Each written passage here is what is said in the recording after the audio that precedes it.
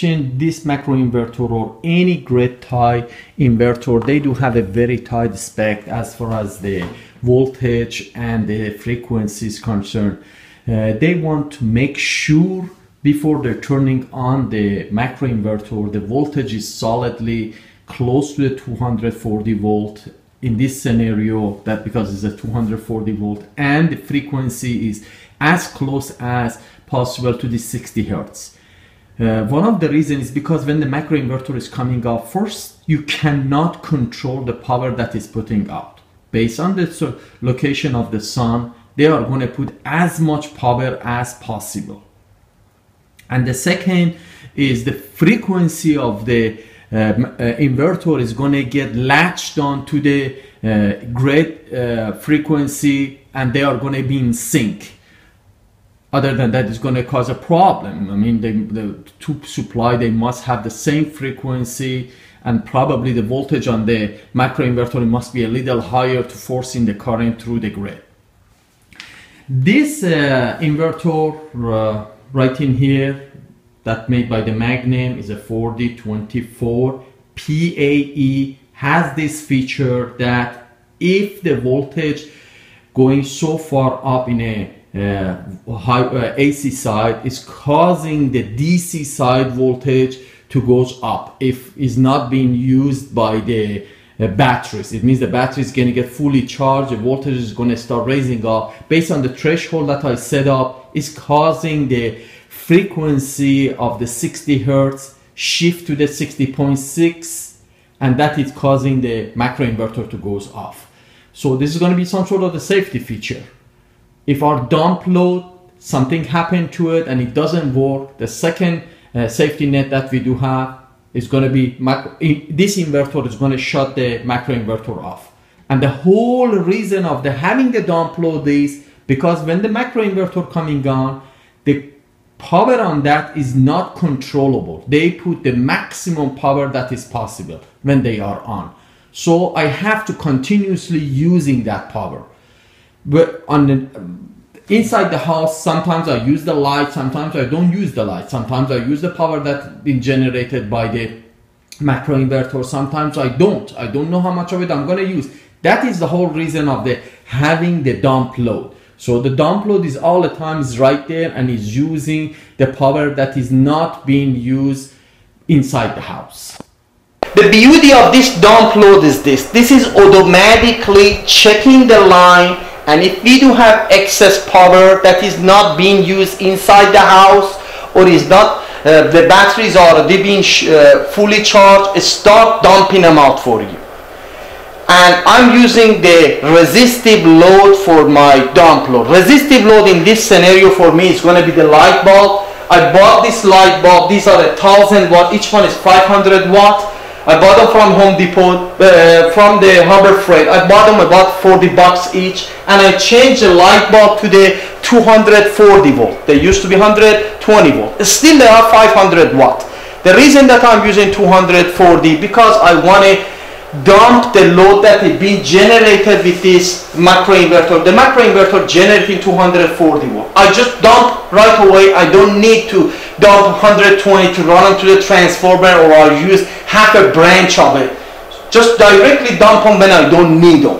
And I divide my load. I use the load as I explained it to you guys. The maximum power that my inverter generating by 1 o'clock in the afternoon the best day was somewhere around less than 5500 watt so I generate the 5500 uh, watt of the dump load right in here and I divide them to the 5 load 500 1000 1000 1500 two of the other load is going to be this light is heat gone each one is going to be 1500 watt again I'm repeating this. All of my dump load are 240 volt. I change the light bulb on those and this heat gun I bought them. This heat gun is uh, has a two mode. Has 150, uh, 750 and 1500 watt. If you keep them in a 750, regardless that is 120 volt you can connect them to the 240 volt and at that time it's going to give you 1500 watt power. Dump load that 1500 watt dump load is going to come through these plugs. This one is going to be the top and the bottom they both connected to the load number one. The top one is going to be load number two bottom one is load number three. They are separated. These plugs and this plug are separated. The load number four and load number five. Load number one is going to be right in here. This is 500 watt right in here. Load number two is going to be this one 1000 watt two 500 watt light bulb. Load number three is going to be again 1000 watt to 500 watts right in here. Load number four is going to be this heat gun 1500 watt is going to be connected right in here. And load number five is going to be again another one of his heat gun 1500 watt is being connected right in here this Morningstar relay right in here been activating those relay with a 200 millivolt interval so when my voltage reach to the 14 volt you can set them up to the any voltage that you want. I pick 14 to 15 volt, start dumping the load. Every 200 millivolt, I add more load.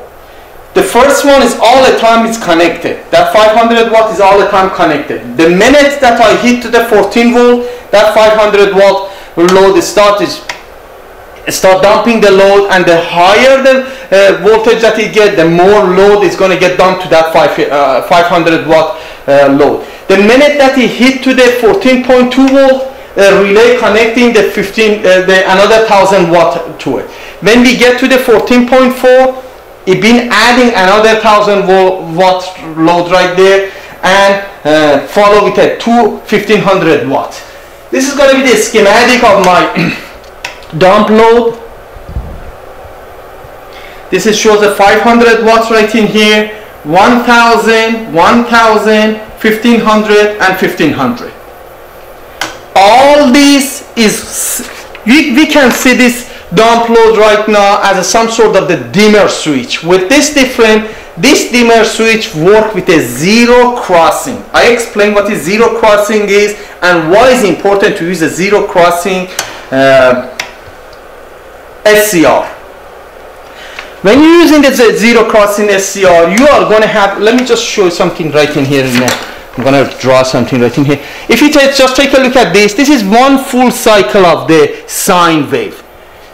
On the regular power that you do have, you have 60 hertz. It means 60 of full cycle per second you are going to have this system that I built right in here, it can give you one half a cycle minimum, maximum 120 of them. So the minimum load that I can have is going to be, because my first load is 500 divided by 12, 120 uh, because it's 120 half a cycle. That is going to be something around 4.2 watt or so.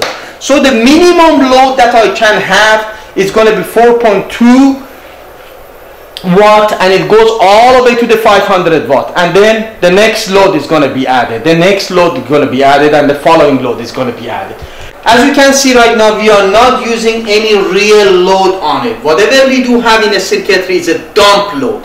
So if the battery need to get charged it's going to get charged. And rest of it is going to go to the dump load.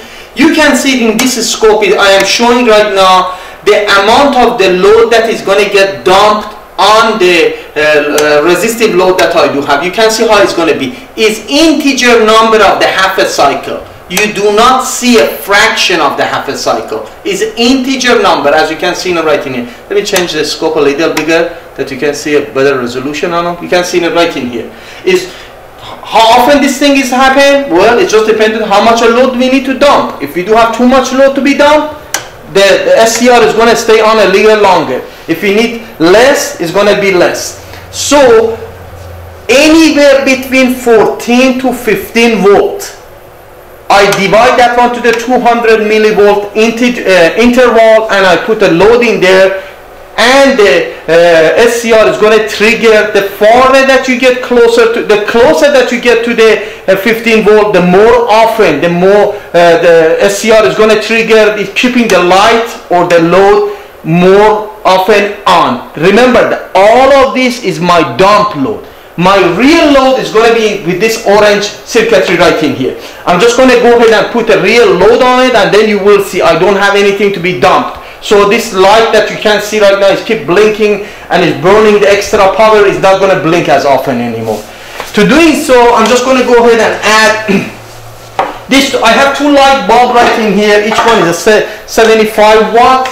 I'm going to turn them on and then follow with a 750 watt load. I'm going to put them on to see what's going to happen. I'm just going to go ahead and turn on right now 75 watt.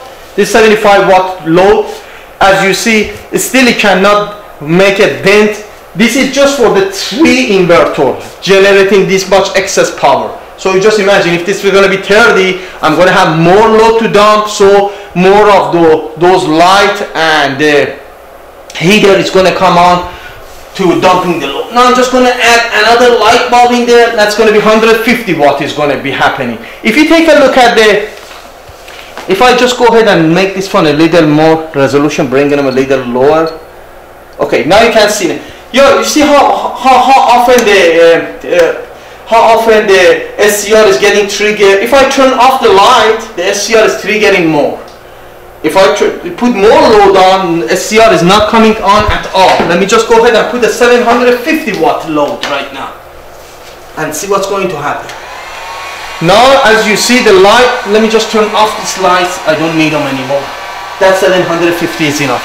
You can see no more load is going to get dumped. Everything is going to go to the real load that you do have. The real load could be light bulb inside your house, your TV, your refrigerator, dishwasher, washer, or any other appliances that you do have in the house, when they are using you know, is no excessive load. So, and at the same time, you can see the inverter on. This inverter is pulling 21 volt. This is almost 10 amps. So it's almost 200 watt. This inverter is putting 200 watt is input of it. So because they do have very good efficiency, let us assume about 180 watt is coming out of that. The same thing for this one. This is pulling about 200 watt input, so it's putting about 180 uh, watt out. And this, the, the, the, third one right in here is using the battery. I don't have any meter connected to it to show you the voltage and current that is pulling. But let's just assume all three of this inverter putting something around 500 watt out. So from the 750 watt power that I'm using, 500 coming from this three inverter and uh, the 250 is coming out of the battery. As you can see right in here is coming out of the battery. As you see, no current, no extra voltages going toward the dump load.